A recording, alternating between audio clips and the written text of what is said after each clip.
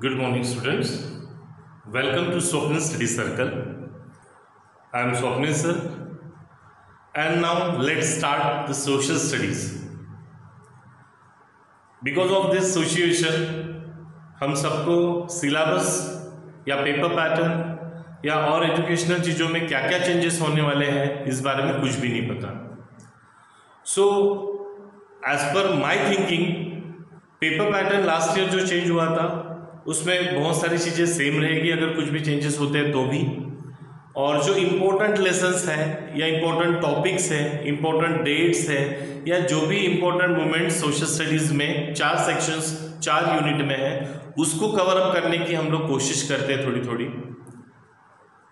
हमें पता है कि क्लासरूम में बैठ के स्टडीज़ करना और घर पे बैठ के स्टडीज़ करना काफ़ी डिफरेंट होता है। उसी तरह से हम आपसे भी ये आशा करते हैं कि आप अंडरस्टैंड करेंगे कि हम आपको यहाँ पे बैठे हुए एज्यूम कर रहे हैं और उस तरीके से यहाँ पे पढ़ाने की कोशिश कर रहे हैं। फिर भी अगर कुछ कमियाँ रह जाती हैं तो we will try to solve that difficulties when the classes will be regular. So, let's start with our sst first, we discuss about the paper pattern जो कि लास्ट ईयर चेंज हुआ है।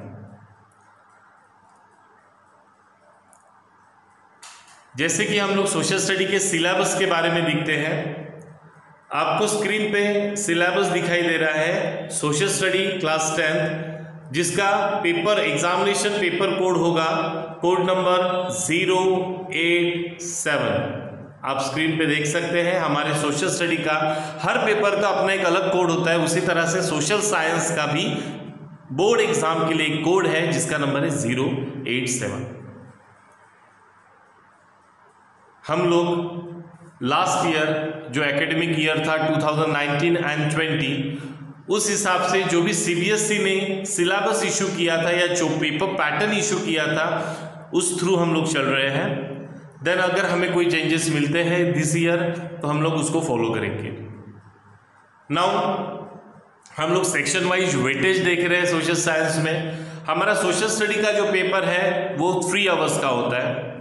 एज पर माई calculation जो paper है वो two hours forty minute या two hours forty five minutes में finish हो जाना चाहिए और फोर्टी फाइव मिनट के बाद जो फिफ्टीन मिनट या ट्वेंटी मिनट आपको एक्स्ट्रा मिलते हैं two hours forty five minute के बाद जो फिफ्टीन या ट्वेंटी मिनट आपको मिलते हैं, वो रीचेकिंग के लिए होते हैं या रीवैल्यूएशन के लिए होते हैं। सो थ्री आवर्स का हमारा जो पेपर पैटर्न है, जो एटी मार्क के लिए है एक्चुअली बोर्ड में जो है वो 100 मार्क का होता है, पर 80 मार्क जो है वो एग्जामिनेशन थ्रू और बाकी के 20 मार्क जो हमारा एकेडमिक सेशन होता है स्कूल में, जिसमें आपके कुछ प्रोजेक्ट्स होते हैं, आपकी कॉपी कंप्लीशंस होती है बिहेवियर्स होते हैं 10 मार्क आपके स्कूल के जो एग्जामिनेशन होते हैं, उसका एवरेज रेशियो होता है, ये सब मिला के हंड्रेड होता है। पर एक्चुअली हम लोग थ्री आवर्स पेपर पैटर्न के बारे में देख रहे हैं, जो कि एटी मार्क्स का होता है। अब हमारा जो एस एस टी सब्जेक्ट है, वो चार यूनिट में डिवाइड किया गया है। अब वो चार यूनिट में से आपको अगर पता होगा तो एक history then geography then political science and economics तो हम लोग यहाँ पे देख रहे हैं, यूनिट वन जो है हमारा, वो है India and the contemporary world two जो कि ट्वेंटी मार्क के लिए होता है। और board as per the board या फिर जिन लोगों ने भी डिसाइड किया है कि उसके लिए मिनिमम नंबर ऑफ़ पीरियड जो है वो सिक्सटी है। ये जो नंबर ऑफ़ पीरियड इसके बारे में आप ध्यान मत दीजिए, क्योंकि किसी के लिए वो सिक्सटी है, किसी के लिए एट्टी है, किसी के लिए मोर किसी के लिए लेस तो हम लोग टिपिकली एक पर्टिकुलर टाइम के हिसाब से उसको नहीं एज्यूम कर सकते। कभी ज़्यादा समय लगता है, कभी रिक्वेश्चनिंग होते हैं स्टूडेंट्स की तरफ़ से तो वो नंबर ऑफ़ पीरियड्स ही हमारा पार्ट नहीं है। हम लोग बस हमारे चार यूनिट देख रहे हैं, जिसको मैंने ऑलरेडी डिवाइड कर दिया था, पर जिसको हम लोग एस के लैंग्वेज में unit one India and contemporary world two for twenty mark which is history belongs to history number two unit number two the contemporary India two typically part of geography जो 20 mark carry करता है board exam के लिए. Then unit number three जो कि हमारा political science से related है, जिसको हम लोग कहते हैं democratic politics part two which is for twenty mark in the board examination and now the last unit number four belongs to economics which is we called understanding economic development for 20 mark. अगर आप यहाँ पे गौर कर रहे होगे तो marking के तरफ़ each unit carry 20 mark and total 80 mark for the board examination मतलब हिस्ट्री हो या चाहे ज्योग्राफी हो, चाहे पॉलिटिकल साइंस हो या चाहे इकोनॉमिक हो, चारों सेक्शंस को सेम इंपॉर्टेंट दिया गया है। मतलब ऐसा नहीं चलेगा कि हम लोग हिस्ट्री पढ़ रहे हैं या ज्योग्राफी पढ़ रहे हैं सर पॉलिटिकल साइंस थोड़ा सा टफ जा रहा है, ये वो सब चीज़ें। हमको हर चीज़ पढ़ना है, क्योंकि हर एक टॉपिक हर एक यूनिट सेम मार्क कैरी कर रहा है board examination now let start with the paper pattern जो कि हम लोगों को देखा है कि ईयर 2019 एंड 20 में बोर्ड ने इशू किया था। नाइन्थ के पेपर पैटर्न में और टेंथ के थोड़ा बहुत ही फ़र्क है। क्वेश्चंस में वगैरह फ़र्क नहीं है नंबर ऑफ़ क्वेश्चन में फ़र्क है। तो पेपर पैटर्न हम लोग देख रहे हैं, आप बोर्ड पे देख सकते हो। Paper pattern there are thirty five question in all मतलब पूरे पेपर पैटर्न में थर्टी फाइव क्वेश्चन रहेंगे। अब ये थर्टी फाइव क्वेश्चन को चार सेक्शन में डिवाइड किया है। Section A which carry twenty mark अब सर सेक्शन ए क्या होता है? कि सेक्शन ए जो है, वो आप देख सकते हैं question number one to twenty जिसमें ऑब्जेक्टिव टाइप क्वेश्चन पूछे जाएँगे। और हर एक क्वेश्चन एक मार्क के लिए होगा। Each question carry one mark question number one to twenty objective type question अब सर, कौन से ऑब्जेक्टिव टाइप क्वेश्चन तो काफ़ी प्रकार के ऑब्जेक्टिव है, जिनमें से कुछ मैंने यहाँ पे मेंशन किए हुए हैं just like match the pair filling the blanks complete the table study the pictures and answer the question short answer correct the statement true and false choose the correct option etcetera मतलब ये सभी बहुत ही आसान चीज़ें होती हैं और objective इसीलिए उसको कहा जाता है। कहीं कहीं ऑप्शंस भी आपको दिए हैं, जिसमें लास्ट हमने देखा है चूज़ द करेक्ट ऑप्शन करके। काफ़ी इजी है और डेफिनेटली पर इसके लिए हमें पूरा लेसन डिटेल में पढ़ना होगा।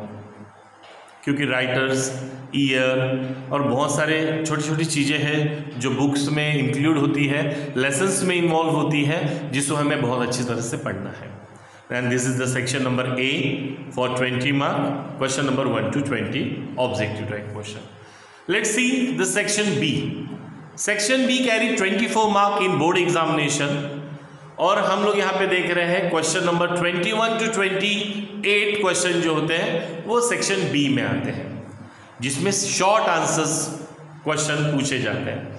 यानी कि जो भी क्वेश्चन पूछे जाएँगे, जिसके हमें जवाब शॉर्ट लिखना है।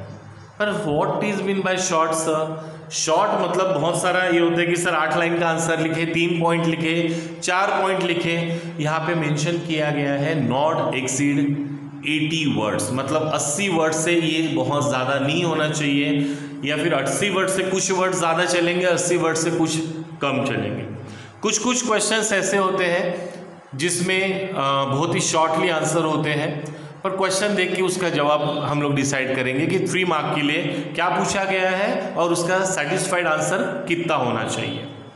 तो section B for 24 marks question number 21 to 28 जिसमें शॉर्ट आंसर पूछे जाएँगे और जिसका जवाब हमको लगभग 80 वर्ड्स में देना है।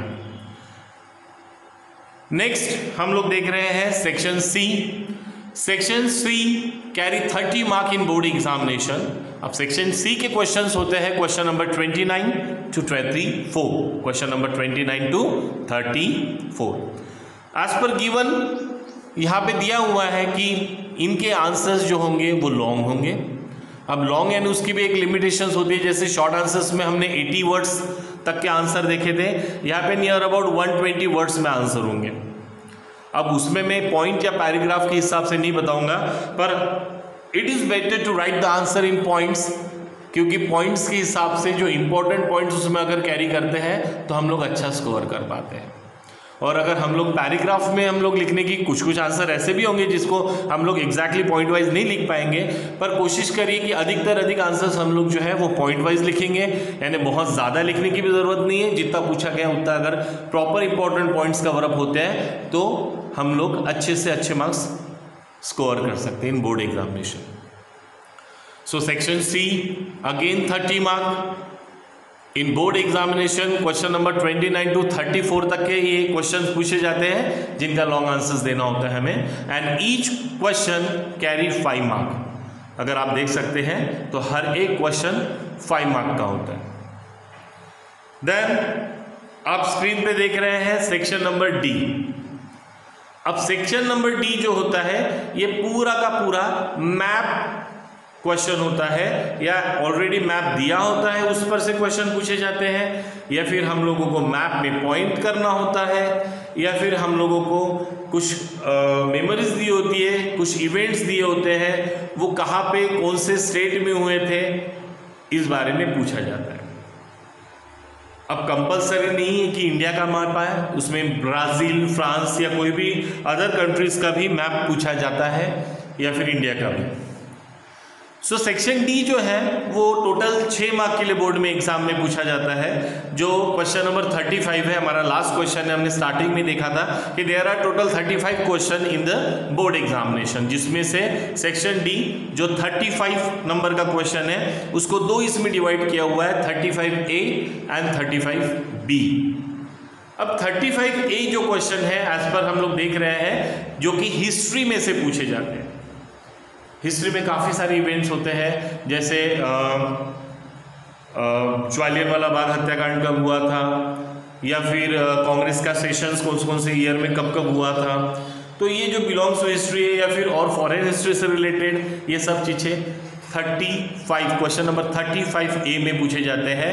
हर दो क्वेश्चन पूछे जाते हैं। Each belongs to one mark and it is belongs to history only then question number thirty five question number thirty five A हमने देख लिया जो हिस्ट्री में से पूछे जाएँगे।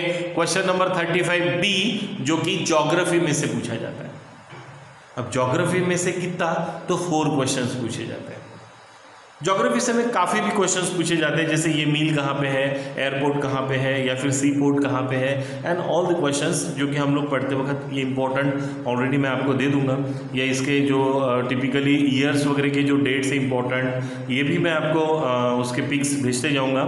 पर आप देखिए सेक्शन डी में थर्टी फाइव ए जो कि हिस्ट्री में से पूछा जाता है जिसमें दो क्वेश्चन पूछते हैं एंड एक मार्क कैरी करता है हर एक क्वेश्चन मतलब from history there are two mark and question number thirty five B जो कि जोग्राफी से बिलोंग करता है, जिसमें चार क्वेश्चन पूछे जाते हैं and each question having one mark तो इस तरह से section A B C and D again एक बार शॉर्टली मैं आपको बता दूँ सेक्शन ए ट्वेंटी मार्क जिसमें ऑब्जेक्टिव टाइप क्वेश्चन पूछे जाते हैं question number one to twenty section number B carrying twenty four marks question number 21 to 28 जिसमें शॉर्ट आंसर्स पूछे जाते हैं। Then section C carrying 30 marks question number 29 to 34 जिसमें long answers पूछे जाते हैं। एंड सेक्शन नंबर डी जिसमें question number 35 A and 35 B 35 A belongs to history and 35 B belongs to geography अब कौन कौन से लेसन्स हमें रहेंगे, कौन सा ओमिट किया जाएगा, क्योंकि ये इसी साल नहीं, हर साल ओमिट किया जाता है, या फिर ऑप्शन होता है आप लोगों को क्वेश्चंस में मतलब ये करो या वो करो मतलब वो लेसन्स भी हम लोग पढ़ सकते हैं, ये लेसन्स भी। कोचिंग क्लासेस में हमारे स्वप्न स्टडी सर्कल में हम लोग कोशिश करते हैं कि सभी इवेंट्स या सभी लेसन्स को हम लोग कवर करें, जो कि बोर्ड एग्ज़ाम में पूछे जाए, भले ही वो ऑप्शन में हो, पर इन फ्यूचर उनका ज़रूर काम आएगा। So let's see about the lessons हम लोग हमारा पार्ट ए देख रहे हैं, जो कि हिस्ट्री का है India and the contemporary world two history में हम लोगों ने one two three four five six seven eight total यहाँ पे हम लोग एट देख रहे हैं लेसन जिनमें पहला लेसन है the rise of nationalism in Europe second one is the nationalist movement in Indo China ये ओमिट रहता है हर साल, देखते इस साल क्या होता है। Then third one is nationalism in india the making of global world the next is the age of industrialization next is work life and leisure cities in the contemporary world next is print culture and the modern world काफ़ी important lesson है और काफ़ी मज़ा भी आएगी आपको पढ़ने में and the last one is novels society and history ये सभी के लेसन सभी नहीं होते बोर्ड एग्ज़ाम में, कुछ लेसन ओमिट होते हैं या फिर ऑप्शन में होते हैं। This is the history carry one two three four five six seven eight total eight lesson next हम लोग देख रहे हैं कंटेम्प्ररी इंडिया जो कि हमारा जोग्राफी का पार्ट है, जिसमें हमारा लेसन है resources and development forest and wildlife resources water resources agriculture minerals and energy resources manufacturing industry lifelines of the national economy मैंने पहले भी बताया कि हर एक लेसन बोर्ड एग्ज़ाम में नहीं होता है, कुछ लेसन्स ऑप्शन में होते हैं। एज पर मी काफ़ी आसान है। अगर हम लोग जनरल नॉलेज रखते हैं डेली करंट अफेयर्स से हम लोग रिलेटेड हैं तो काफ़ी चीज़ें हम लोग जो है वो अपनी तरफ़ से अपने मन से आंसर्स को लिखना चाहिए। बस लैंग्वेज हमारी अच्छी हो, हमारी हैंड राइटिंग अच्छी हो। तो प्रेजेंटेशन एस में स्कोरिंग करने के लिए सबसे ज़रूरी चीज़ है। सबसे ज़रूरी चीज़ है knowledge basic knowledge and presentation of the people next हम लोग देख रहे हैं पार्ट सी इसके पहले हम लोग पार्ट बी देखे थे, जो जोग्राफी से बिलोंग करता है and this is the part C belongs to a political science जिसको हम लोग कहते हैं डेमोक्रेटिक पॉलिटिक्स चू इनमें भी काफ़ी लेसन्स है। थोड़े टिपिकल है, पर जिसको इंटरेस्ट है, क्योंकि लास्ट ईयर हमने देखा था ऑलरेडी आपकी क्लास में कि काफ़ी बच्चे इधर से उधर से पॉलिटिकल सवाल पूछते हैं और उस टाइम में काफ़ी शायद इलेक्शन का टाइम था तो काफ़ी एक्साइटेड थे सब लोग तो मुझे भी मज़ा आ रही थी। और हर साल कोई भी कितना भी टीचर कितना भी नॉलेज रखे, हर साल उसे बच्चों से भी कुछ ना कुछ नया सीखने को मिलता है। एंड थैंक्स टू यू कि आप लोगों से भी मैं हर साल कुछ ना कुछ सीखता हूँ। And I will try to improve my ability so political science के बारे में चलते हैं। पॉलिटिकल साइंस में one two three four five six seven eight यहाँ पे भी टोटल एट लेसन है, जो कंप्लीटली नहीं होते बोर्ड एग्ज़ाम में ऑप्शंस में होते हैं, जिसमें power sharing federalism democracy and diversity next gender religion and caste next popular struggles and movements then political parties then outcomes of democracy and the last challenges to democracy. As per the discussion कुछ बच्चों से discuss कर रहे थे हम लोग कि क्या चालू करें, क्या नहीं करें। तो सर इंपॉर्टेंट डेट्स और कुछ नॉलेजेबल मोमेंट्स के साथ साथ बच्चों का ये डिमांड था कि पावर शेयरिंग हम लोगों ने शुरू करना चाहिए कि व्हाट इज़ पावर शेयरिंग कैसे शेयर होता है। काफ़ी अच्छा लेसन्स है, जिसमें Sinhala belongs to Sri Lanka and other countries के बारे में बेल्जियम वगैरह के बारे में हम लोग देखेंगे and why the power sharing is necessary ये हम लोग जो अगला लेसन हम लोग फ़र्स्ट लेसन हमारा स्टार्ट करने वाले हैं फ्रॉम पावर शेयरिंग हम लोग ये व्यूज़ देख रहे हैं कि बच्चों का क्या कहना है, बाकी स्कूलों में कौन से लेसन शुरू किए हैं और उसी को हम लोग फॉलो करते हैं ताकि पढ़ाई हुई चीज़ वेस्ट ना हो। वैसे भी पढ़ाई हुई कोई भी चीज़ वेस्ट नहीं होती है लाइफ में कहीं ना कहीं काम होती है, काम आती है। तो बस आपको मैं एक बता दूँ बेसिकली कि हम लोग हमारा लेसन चालू कर रहे हैं with power sharing and this is the political science belongs जो भी टोटल एट लेसन है बिलोंग्स टू पॉलिटिकल साइंस और डेमोक्रेटिक पॉलिटिक्स टू कहते हैं जिसे, और हम लोग हमारा लेसन जब स्टार्ट करेंगे तो वो रहेगा power sharing and the next हमारा लास्ट पार्ट है पार्ट डी इकोनॉमिक्स इकोनॉमिक्स को अंडरस्टैंडिंग इकोनॉमिक एंड डेवलपमेंट भी कहा जाता है, जिसमें कि पाँच लेसन कैरी करते हैं। काफ़ी इंपॉर्टेंट लेसन है। हमारा फाइनेंशियल या फिर इकोनॉमिकल जो भी चीज़ें हैं, काफ़ी सीखने को हमें मिलती है। बैंक लोन या फिर बाकी भी चीज़ें। सॉरी सो इकोनॉमिक्स में पाँच लेसन हम लोग यहाँ पे देख रहे हैं।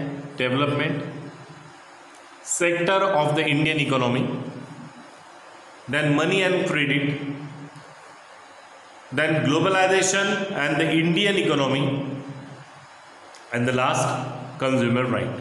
यानी हम लोग जो कंज्यूमर हैं जो सभी उपभोक्ता कहते हैं उनके क्या क्या अधिकार है क्या क्या राइट्स हैं? सो so, ये हमारा पेपर पैटर्न ये हमारे बुक्स उसका लेसन्स ये सभी चीज़ें हम लोगों ने होप्सो की एक ओवरलुक कर लिया है। एंड नाउ फ्रॉम टुमारो हम लोग हमारा नया लेसन चालू करेंगे जो पिछले इसमें हमने बताया power share. So thank you very much. Have a nice day.